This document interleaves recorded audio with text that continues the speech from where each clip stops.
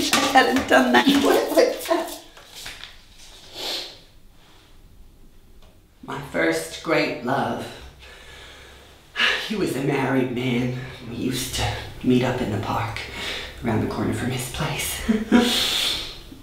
and then it was his 40th birthday party.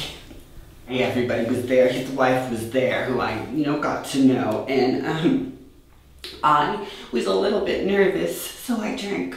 I was there in the kitchen with my pants around my ankles, vomiting into the kitchen sink, being held up by my G-string.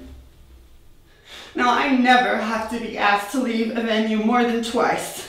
So I wiped my mouth and I said, I'll be seeing you later. I couldn't actually afford to pay for the cab. You know the rule, right? Whenever you're in a cab and you don't have enough money, you have to do something, right? So I did what needed to be done.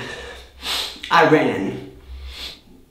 I never saw the love of my life again.